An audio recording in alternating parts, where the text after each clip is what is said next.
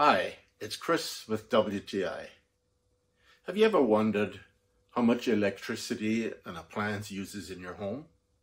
I have just the tool for you. It's called an energy watt meter. It's made by SURAIELEC.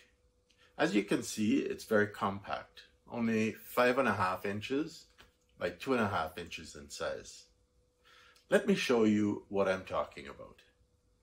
What I like about this meter is its versatility. It measures the volts, amps, kilowatt hours, and watts that any electrical appliance plugged into it uses from the time you start monitoring that appliance. I'm also impressed by the large readout screen that is extremely easy to see when using the meter. My wife likes the fact that the light in the screen only comes on when you press one of the buttons, so as not to keep her up at night.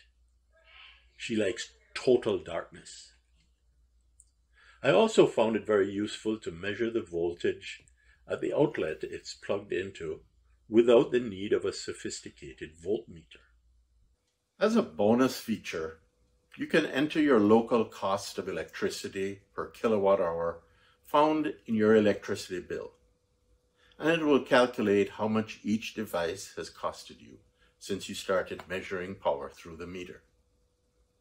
All in all, I've found this to be a very helpful tool when checking an appliance's electrical costs. And that's my point of view.